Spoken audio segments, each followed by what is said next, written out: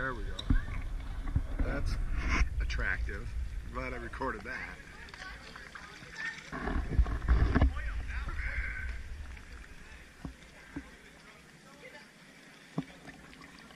Oh, I need to get some drone footage for sure.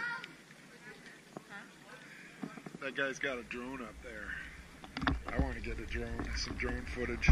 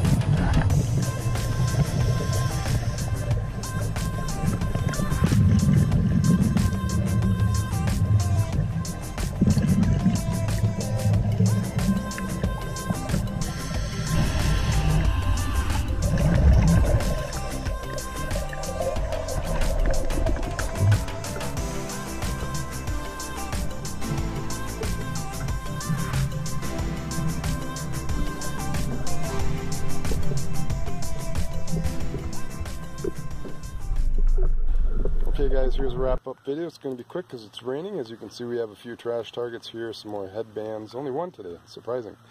Um, bracelets, uh, necklace, which I believe I showed my friend picking up in the video. One other thing um, she picked up, didn't get it on video, is this pair of Republic glasses, sunglasses, cheap sunglasses. She donated them to the cause. How nice of her, not.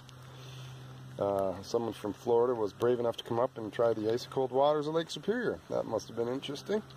Found another pair of prescription glasses. I put that on local social media. Hopefully someone will claim it, the uh, the owner, because glasses are rarely cheap or, or inexpensive.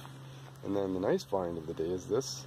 Looks like a wedding band, a wedding ring, men's wedding ring. It's a uh, tungsten ring. I'm not going to say the size in case someone wants to claim it. I don't I don't want to give it to the wrong person. If someone does come forward and it's theirs and they can prove it, they're more than welcome to it. So that's it, guys. Thanks for watching, and as always, dive safe.